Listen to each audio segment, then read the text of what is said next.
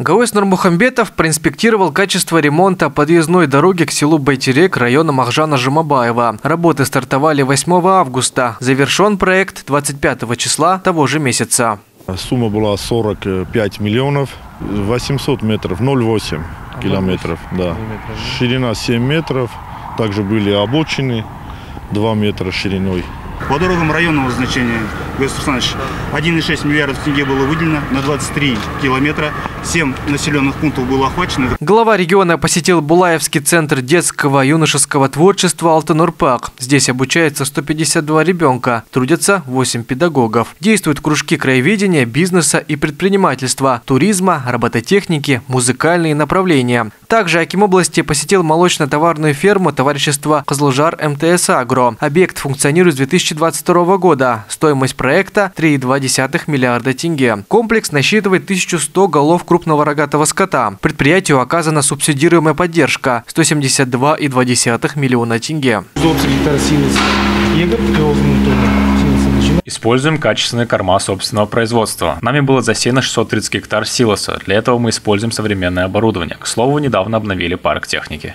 Гауэс Нурмухамбетов ознакомился с ходом реконструкции водоразводящих сетей села Жастар. Объект даст возможность бесперебойно обеспечивать населенный пункт чистой и питьевой водой. Резервуары вмещают 100 кубов. Стоимость проекта 360 миллионов тенге. Сегодня работы близятся к завершению.